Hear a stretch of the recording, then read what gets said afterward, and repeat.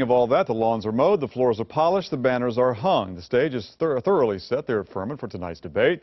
WYFF News 4's Allyson Powell joins us now from McAllister Auditorium. Right now in McAllister Auditorium, they're still getting ready for the debate. You can see behind me five podiums for the candidates. We'll get a chance to meet some candidates we haven't heard much about. I know the podium's all that water.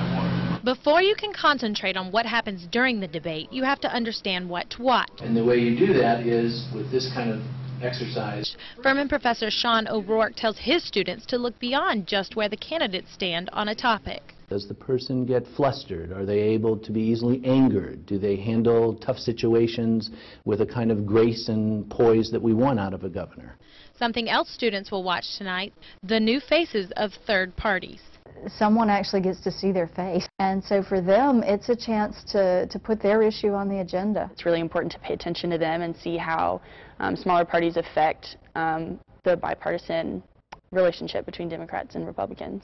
Potential for some tax reform. Political science professor and organizer of Pizza and Politics at Furman, Danielle Vinson, believes this debate stands out simply for the lack of hot button issues. Not sure we have anything that quite qualifies as a hot topic, but I think some of the ones that, that people are going to be listening for. Um, certainly what they're going to do about our roads and bridges. Um, we keep hearing a lot about infrastructure in the state. Vinson says despite the focus on health and education, revamping the Department of Social Services and how to grow more jobs are sure to come up.